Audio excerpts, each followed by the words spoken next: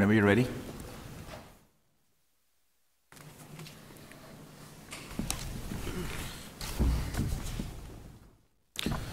May it please the court, counsel. I'm Matthew Kaczurgis on behalf of petitioner Adam Shepard. Present with me is Jesse Wilkeson at counsel table. The issue in this case is controlled by this court's prior decision in State v. Houck, as reaffirmed in State v. Burris, as well as the rule of lenity codified at section 775.021. The issue being whether the court can allow reclassification of a felony offense for use of a weapon when the alleged weapon is an automobile. Petitioner contends it cannot. Whether a particular object is considered a weapon is to be determined by the trial court in the first instance. Where does that, where does that principle come from? Houck. Okay, where did, that, where did Houck get it? I don't believe it, it, it states where it comes from, but the Houck, Well, decision- then, then they quote the district court, the en banc Fifth District Right. Court of Appeal. Yes, sir. and there, but there's really no, um, there's no other authority that we have that establishes that point, is there? Burris it reaffirms that principle. Well, the- It says, then the, the Fifth District panel, uh, en banc decision says, because it says uh, firearm or weapon, so it uses that principle that I can never pronounce, the Eustrom. ejusdem generis. uh, to say that. I guess my question here about who determines it, the jury instruction that was given is a broad, so broad, not whether it was intended to be used, it's any object that could be used to cause death or serious injury. Wa- I assume that jury instruction was objected to. Yes, we, there was an objection to, um, Did- did To you- the Is that a standard jury instruction? I don't recall as I sit here, I think it was pulled from I- I- either aggravated battery or some other statute, is- is my recollection. Well, is the definition of what a weapon is, does it vary from statute to statute? In other words, there are some statutes that deal with exclusively firearms, others that deal with weapons. Is there any place where the legislature uses uh, the broadest term? Because again, this could- weapon could be an either-or, right? If it- there are some definitions that say exactly that, an object that could be used to cause uh, serious injury, or it- an instrument of attack uh, in defense and combat as a gun or a sword. So is there any uh, place where the legislature has indicated its intention to use the broadest possible definition of weapon, which would virtually take any case, the way I see it, of manslaughter, involuntary or voluntary manslaughter, and whatever was used would then be uh, elevated to the first degree. I mean, would, I can't think of anything that wouldn't, if you're using it, it's a weapon. Uh, That's the problem, Your Honor. But back to your question. But is I'm asking, is there any statutes that take a narrow, you know, that look at it, where we look at other definitions of weapon? I, I don't know that it's going to be of any aid to the court, but in the Florida Criminal Code, when you look at the chapter dealing with weapons and firearms, chapter 790, there's a prefatory definition, I think it's 790.01, that talks about uh, dirks, billy clubs, swords, knives, but then it has the caveat on the end of it, or any other, I forget if it uses the term object, that could be used to inflict serious bodily harm or death. Well, as we, we sit here today, we now know that, as the court has pointed out, virtually any object that, that would constitute the mechanism of death would be considered the, could be considered a weapon. So one Isn't the way? But, but, okay, okay, isn't that the way our law has treated this in many different contexts for many, for many, many years? Where we have, uh, where we, and we have opinions that are quite recent where we refer to a hammer, uh, for instance, as a weapon. Um, we refer to, uh, there's a case going back to the, to the uh, uh, 1870s where the court decided that a uh, weighted scale was a weapon. We have a, we have a case from 1926 or 27 where we specifically held that a um, uh, automobile was a deadly weapon. Uh, so throughout our jurisprudence, we have uh, the use of the term weapon um, in ways that are just inconsistent with the narrow uh, construction of that term that was adopted in Houck. Now, whether Houck is right or wrong on the ultimate issue there, I mean, that's a different question. But we're, fo- we're focusing on the reasoning that they use, which limited the definition. But isn't it true that that's kind of, it, is there really very much in tension with a lot of different things that are in our case law, in- including case law that has, has come after Houck? The only situations where I've seen that applied were, in a- and it seems to be an anomaly, and I have no explanation on why the divide in the law is the way it is on this, but for aggravated battery and aggravated assault, they've allowed the, the automobile to be used as a weapon. In every other context, you're in specifically the reclassification statute, 775.087, it is given the definition of its plain and ordinary meaning as divined from the dictionary, Well, but you, but, but I've got a problem with that because if we look at Webster's dictionary, which, you know, Webster's Third International, would you believe me if I told you that in Webster's Third International it says weapon applies to anything used or usable in injuring, destroying, or defeating an enemy or opponent? I would not be surprised, but in another, in another dictionary, it um, states an instrument used for combat, such as a sword or a gun. How And yet- about Black's dictionary, which says, the legal dictionary, which says, an instrument used or designed to be used to injure or kill someone. So if it's used to kill someone, according to Black's, it's a weapon. according to Black's. However, this court has already determined that that broad sweeping definition cannot be applied. And Well, what- further, what- Let me ask you this, the- uh, dealing with the broad sweeping definition that's been discussed, uh, uh, manslaughter was the original charge, the underlying charge here, am I correct? no, first degree murder. First degree murder? So the jury came back with manslaughter? Correct. Okay, that, that was the verdict, manslaughter, and then he, it was aggravated to... It was enhanced under the statute for use of the weapon. So, one can commit manslaughter by hitting someone with their fist. So, Sure. uh, you, I read of cases every day where somebody gets in a fist fight, he gets hit in the face, the guy falls, hits his head on the pavement, dies. Uh, so that's manslaughter. So wh- why is, what is wrong with a jurisprudence that would allow an enhancement when something other than the fist is used? If, if there's a fist fight and I pick up a rock, I pick up uh, whatever is available to me at the moment and hit him, uh, why not enhance it with that? Because the rule of lenity precludes that.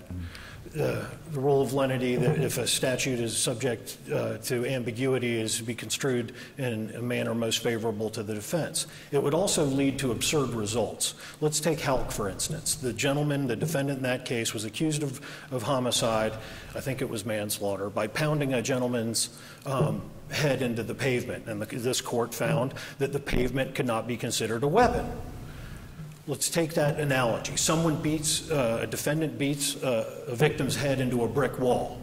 Under the same analysis in Houck, that brick wall could not be considered a weapon. Well, but can't you make a distinction there just based on the, the understanding of what weapon means, based on what Webster says and the Blacks and a multitude of dictionaries, um, where, where the, the uh, connotation is that a weapon is something that the person employing the weapon controls in some manner. You wield a weapon, you control it. Um, so you, you can wield a hammer. You can, uh, you can, uh, I think you can wield a car, okay? You can control that. Um, but you can't wield the ground. You can't wield or control a tree. And so it's just, the, that's can't be, that doesn't fit within the, the ordinary sense of what a weapon would be. Isn't isn't that, isn't that a way to distinguish those? And okay, you may say, well, maybe we should also pun- punish uh, those equivalently, but if the legislature has used weapon, they've used the term weapon. And we are limited by what the legislature has said. And in this case, if we were to engraft these more expansive deposi- de- definitions of the term weapon, I, I would contend that that's legislating from the bench because the legislature used the term weapon. Houck was decided Well, in but when they, but, but when, when the, when, when the legislature, when did they, when did they uh, adopt that term in the legislature? Do you know? I was looking back through the legislative history on some of this stuff, and I know that the, the deadly weapon enhancement for armed robbery came in in 74, I believe. Okay, so that's before Houck. Houck is obviously Houck's interpreting. 95, it's sometime prior to 95. But now, when the legislature used that, wouldn't the legislature have had the benefit of cases like Williamson versus State and this whole body of law that we have in Florida, where objects that are not designed for the purpose of uh, injuring or killing someone have been referred to as weapons when they are put to the use of injuring or killing someone? That, you know, there's a principle of law that, that, that the legislature, if, if there's, if, if our case law has used a term in a particular way, then that is going to inform our interpretation of the way the legislature subsequently uses it. Uh, now, other things can come into play, but why wouldn't we consider that when we actually look at what the legislature, that term that they used? Because when the court announced Houck in 95, it stated that the court was not in a position to adopt the, the definition advanced by the, the let me- state. Let me concede. invited the I think- to, to I think it. to disagree with you, we would have to recede from Houck. I will, I will concede that. But I think what is at issue in this case, really, is whether we should do that. Not necessarily on the result reached in Houck, but on the reasoning employed in Houck. In, in, in determining the, what is the definition of weapon, assuming the court's prepared to recede from Houck, you're looking at the plain and ordinary meaning. And in this case, the definition of weapon is susceptible to different meanings, just by evidence of the, of the conflict of the districts in this case, with Gonzalez in the second, this case in the first, the opinion of Hurd out of the fifth, there's different constructions of what the term weapon means. Indeed, the first district in this case says the Gonzalez interpretation is a reasonable construction. So if you have reasonable interpretations that are totally different about what this term means, the rule of lenity favors Shepard. It has to be construed in the narrow manner as it is. Let let me ask you this, how does that rule apply if there is a common understanding of a word and an uncommon definition as well? I mean, don't, don't we apply the common understanding of a word and assume that that's what the legislature meant when it used the word? And, and I would contend that when you think of the I mean, common, isn't that a principle of law? That, that you, you assume that the legislature used a word in the way that it's commonly understood? it's plain and ordinary meaning. I mean, I, yes, okay. Okay. Okay. Um, I would Now, agree. A, co- a common understanding, if, if I, someone takes a baseball bat to a fight and beats someone with it, common understanding, would that be a weapon? It's an interesting question, because if, is it, the question, is a baseball bat a weapon in isolation? No, no. Or is a baseball bat used to inflict harm in a fight a weapon? I mean, common understanding, if I said, um, what weapon did he use? He used a baseball bat, would, would the listener go, well, that, no, that, that, that's not a weapon? Would they use the unusual definition? Well, the usual definition of a baseball bat is a device designed to hit baseballs. The usual definition of a weapon is what we're talking about, and that's a, a- an object used to inflict injury, right? Yes, a knife, a sword, a dirk, a billy club, black brass knuckles, all of those things would fall So, within the. under, under your unusual definition, a billy club would be a weapon, but a baseball bat would not. Yes. I have So in all the cases where we have said that the, um, that someone used uh, a hammer or a uh, baseball bat or some other object like that, not designed to uh, uh, inflict uh, harm on others, but used for the purpose of doing that, that we've somehow been misusing the term weapon when we refer to those items as weapons. I, I'm reluctant to say that because I don't know whether defense counsel raised the issue below. I Just a- don't know if it was ever presented in those contexts, and it may have been that everyone just assumed that that was a weapon without challenging the premise of the, of the. I want to talk issue. about just the practical effect of this. As you say, the the jury was, or the defendant was charged with first-degree premeditated murder. Correct. So he could have gotten a life sentence, and then the Mandatory life. issue of whether it was a car or a bat or a gun would have been less, would have been irrelevant. Likewise, second-degree murder, Circuit punishable would by have been a- life. a, f- would have been a first-degree felony, Punishable by life. and he, there would have been no reason. So now we go back to me, and this is what I'd like the state to talk about. This is a reclassification statute. It's not whether a crime was committed.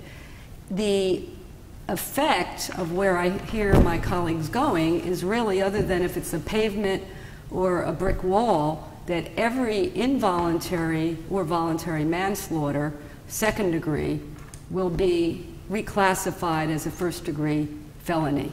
That is And what is the difference in the uh, punishment for the, the first degree felony can get up to what? 30 years, Second degree? 15. Okay, and here he was sentenced consecutively, right? So Well, it's. there's the leaving the scene of a crash Right, so involving that- death. there's no was- issue there. Okay, No, so it's But a- this court, the court took the manslaughter finding, used the enhancement, took a second-degree felony, enhanced him to a first, and maxed him out with 30 years. And, uh, and Justice, in your, in your contention, that's the concern, the Pandora's box that gets opened by this Well, I- but why is that a Pandora's box? I don't, I don't, I- I- that, that escapes me. If someone uses an instrument as a weapon, why shouldn't it be enhanced? I mean, there's kind of the assumption that that's a, that that is opening a Pandora's box is, is, seems to me to be, um, just kind of a rhetorical point, not a legal point. But it, it would run contrary to what this court has found the legislative intent of the enactment of this statute is, is to. In how? In how? To, to preclude persons from bringing items commonly understood to be weapons, firearms, knives, and the like, to scenes of the crime, to avoid the enhancement of the harm that would happen uh, in, in these situations. And it's the province of the legislature to make those determinations. Let let me ask you this, so if, if you're, just as a pure matter of statutory construction, um, if you're right that when the legislature uses the term weapon, it has two reasonable constructions or meanings, and we have to apply the rule of lenity, don't we then need to recede from the cases that say that a weapon is anything used to inflict injury? I mean, wouldn't,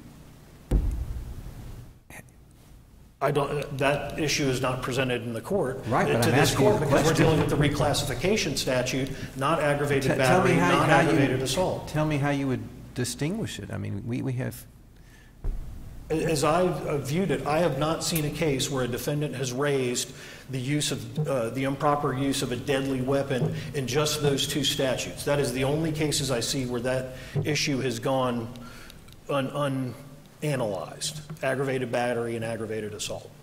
So I don't know that it's presently a but I problem mean, there's for the nothing in the text of the statutes that would lead you to conclude that weapon means one thing in this statute and another thing in the battery statutes, right?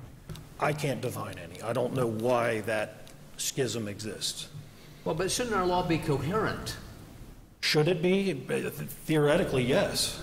Well, I mean, that's sort of, I think that that's an issue here because of all this other stuff out there where we use this term weapon in a sense that's inconsistent with the way it is understood and how. Well, I And that seems to me to be a problem. Maybe it, maybe it's resolved in your favor, uh, but uh, some other things are going to have to go that are out there in the case law. Ultimately, if our law is going to be coherent.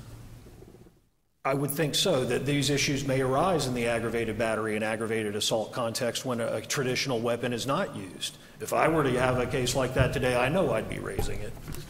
And, I, and to, to your, your Honor's uh, point, I don't know that any of the cases addressing aggravated battery or aggravated assault and non-traditional weapons have ever engaged in that analysis. It's always been an assumption. An analysis of what? Whether the device used in Oh, harm well, was you a haven't weapon. read Williamson then, have you? Well, it's an automobile, I know that. Well, but that was the whole argument there, is whether that could be considered a weapon. And it was extensively, uh, uh, and there's an extensive analysis uh, um, uh, in, in that case about uh, that looked over the case law that said we had previously decided that um, and they, we quote a, another court where it said the deadly weapon is not is not one that must kill or that may kill but the one which would likely produce death or great bodily injury used by the defendant in the manner in which it was used.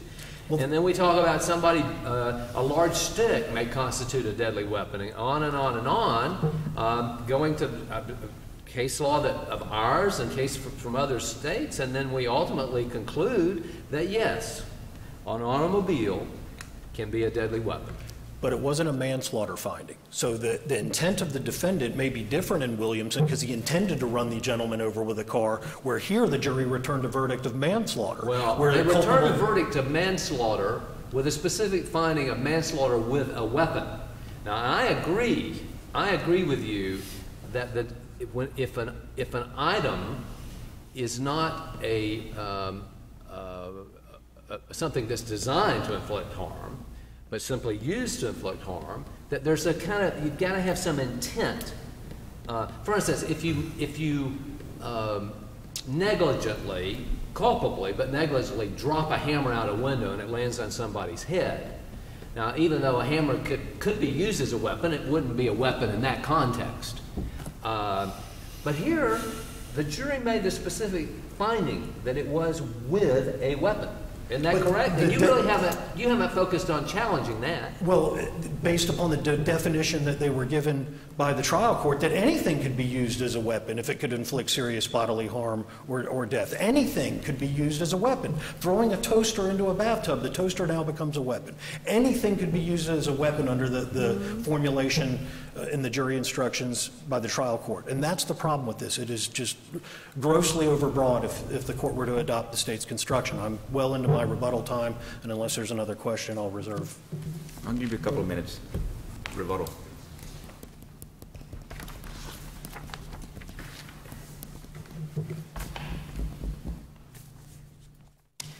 May it please the court, Caitlin Weiss for the Office of the Attorney General for the state. Um, Your Honors, it's the state's position that the reclassification statute and the language in Houck supports the state's interpretation of this statute that the use of a weapon should determine what is a weapon in a You crime. agree that for this case, that the jury instruction said simply, any object that could be used to cause death or serious injury?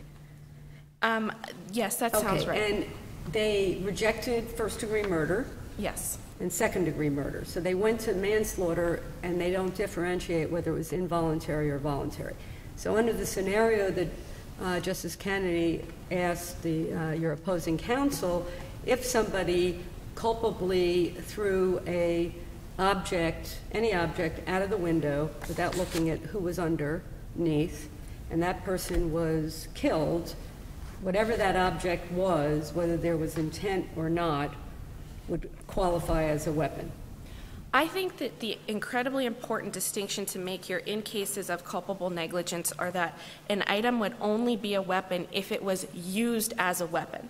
So if you're tossing But a this says toaster any out, object that could be used. So that really, to me, that definition, I think that's, which is now, a- was a jury finding, not a judge finding, was as broad as really any, I guess, non-passive object, anything, whether it's a hammer, a toaster, whatever. The question of the intent goes to whether it was in- involuntary manslaughter, voluntary manslaughter, uh, second-degree murder or first-degree murder. And that's where the intent comes in. As I said, it doesn't really matter if, if they found him guilty of first-degree murder, it was a car, nobody's arguing. So my concern is, after this decision, the reclassification becomes automatic if we allow this definition for anything except for passive objects. Would you agree with that? I would not. And again, I, What I- would be excluded? I think that it would, I know this is a court of policy, but I think that many of, much of this would have to be fact-specific. And I think that an object that was not used as a weapon in a conflict could not be enhanced Well, what would be the, because then, the whole thing is, and this is a question of what the legislature intended, We said it was to provide harsher punishment and hopefully deter those persons who use instruments commonly recognized, commonly recognized as having the purpose to inflict death and bodily serious injury. Now, I don't know if that, we got that out of nowhere, or that was there when the statute was passed as the legislative intent, but it seems to me, most respectfully to you, my colleagues, the First District, that what we're really doing is deciding something the legislature never decided, which is this term is so broad to really encompass anything other than a passive object. Well, I think that this court, if you look at the third footnote in Burris, this court has previously acknowledged that the definition made of weapon or the way the statute was constructed is enormously broad and it's purposefully broad. You know, this statute uses broad language to define using a weapon and broad language to define what can be a weapon. let's The language in the let's- let's statute is at- And, and in Burris, didn't we specifically make uh, a reference in a footnote to this Williamson case that talks about the automobile being a deadly weapon? Let's look at the, uh, the, uh, the toaster example used by council. It's one thing, I mean, there are some people who are kind of strange, and I guess they toast their toasts and, while they're taking a bath. Um, uh, so if it happens to drop in there and something happens, obviously, uh, you know, the, the, the intent is not there to commit harm. Uh, however, if somebody purposely throws you know, a, a toaster in a bathtub when somebody's taking a, a bath, obviously the intent, the use of the weapon changes. Precisely. It's being used with a man. So that's the thinking. Same thing with an automobile. I mean, no one in their right mind today can deny that cars are not being used as weapons to kill people. We turn the TV on every day and see that. Uh, so uh, that's foolish. Uh, however, if he drove the car that night, not intending to hit this guy, but, you know, in, in, in trying to get away from him or something, uh, hit him without the intent to kill him uh, or, or, or do, you know, harm, that's a different matter. It's how the, how the weapon is used. And that's got to be the intent of the legislature here in this instance. So if I'm the sentencing judge and the jury finds that a weapon was used, and the jury was instructed that the, jur- the weapon is, was used with the intent to commit harm, uh, or something like that, then, you know, enhancement is appropriate. Uh, whether it's a rock, whether it's, uh, you know, if somebody drops, if I'm a, a roofer, we had a roofing case here earlier. Let me just make something interesting out of it, but uh, let's say a roofer drops a hammer from the roof and it lands on some poor guy walking underneath, uh, picking up debris. Uh, that, the intent is not there to enhance the sentence. Uh, however, if he picks up the hammer and throws it at him, that's another thing. That's what we gotta can't lose common sense here. You've summarized my position Except admirably. that your position's fine. Except, except that the jury instruction didn't say that the uh, weapon was the object that was intended to be used. I might agree with that being at least an interim definition. You Let me, let me help you there. The, the jury instruction reads like this. If you find that Shepard committed manslaughter and you find beyond a reasonable doubt that during the commission of the crime he personally used, threatened to use or attempted to use a weapon, you should find him guilty of manslaughter. And then it goes on, it defines weapon and the- definition that we read, and then says, if you find that he committed manslaughter but did not use a weapon. So u- use is in the standard instructions, correct? Yes, it is. So it, it, it, they're not asked to find whether an automobile is a weapon. They're asked to find whether he used a weapon, right? Correct, that's Okay. exactly And the- I'm pretty right. confident these are the standard instructions, right? I believe that they are. And we Um, have cases as early as this year unanimously saying that that's the correct legal definition of weapon in Florida, correct? Yes, and I would also again point to the fact that this verdict form contained a specific interrogatory of if he used a weapon. And the jury made the finding that a weapon was used in this case. Um, so I think that although I do agree with Justice Lawson that the definition, uh, that the jury instructions that were given were sufficient, they were also specifically asked was this used? Was, And they uh, answered yes. About this uh, jury instruction, uh, I assume that uh, uh, the defendant's attorney requested a different instruction about the definition of a weapon? Um, I, I believe it was objected to, the, the fact that a car was a weapon, uh, putting that in the instruction at all was objected to. I can't recall if they requested something different.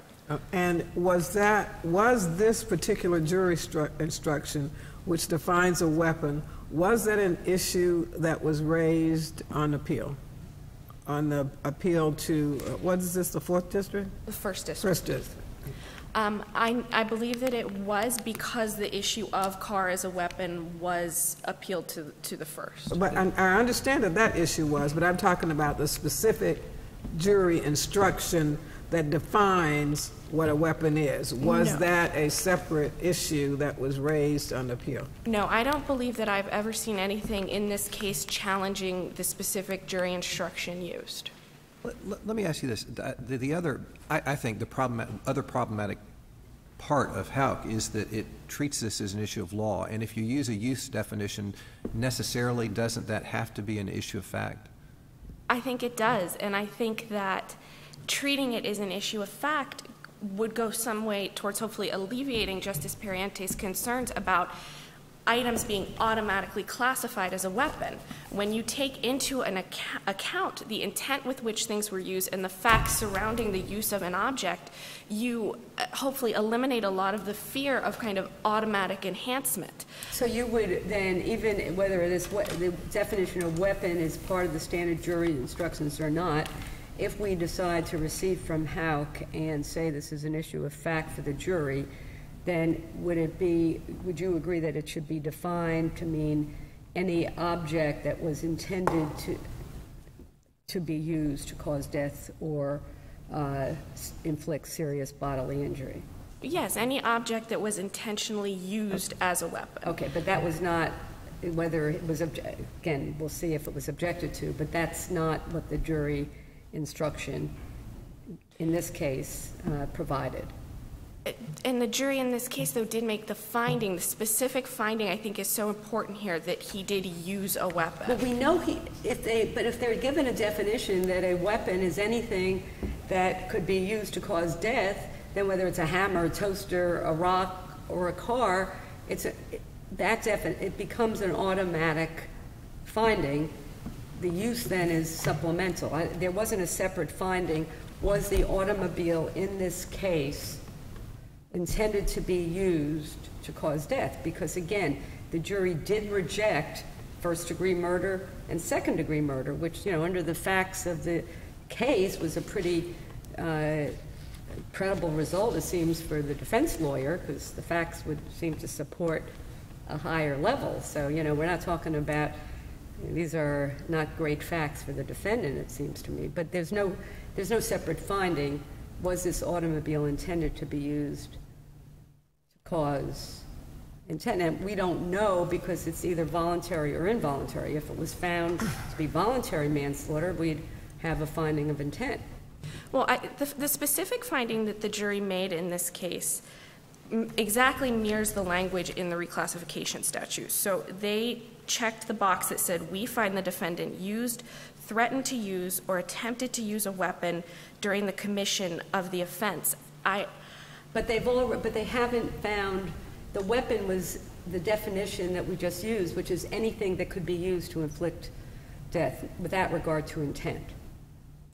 But I think that, I think that the facts in this case don't support any, anything else. I mean, the facts in this case that the defendant, you know, flicked his lights, lured the victim there, deliberately ran him over. The photographs put into evidence by the state showed a fairly wide area that he could have, if he was trying to get away, could have maneuvered his car. I mean, the facts were strongly in support of, you know, not only a higher offense, but also of manslaughter by act. And I think the finding that he used the weapon is sufficient in this case to justify the reclassification, the fact that the jury specifically made that finding.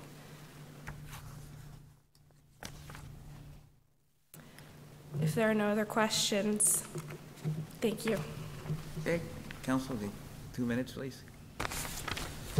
With respect to Justice Quince's question about an objection to the language of the instruction, there was no objection raised with respect to its language. The objection was lodged to the inclusion of weapon in the jury instructions, period, that it just shouldn't be in there. It didn't go down the path of the language that was thereafter employed. And, and nothing uh, uh, was, nothing was offered when the, the objection was overruled, I guess. Uh, The defense didn't attempt to offer any other definition. No, but the defense's position that there was no weapon entailed, and that that was error by the trial court.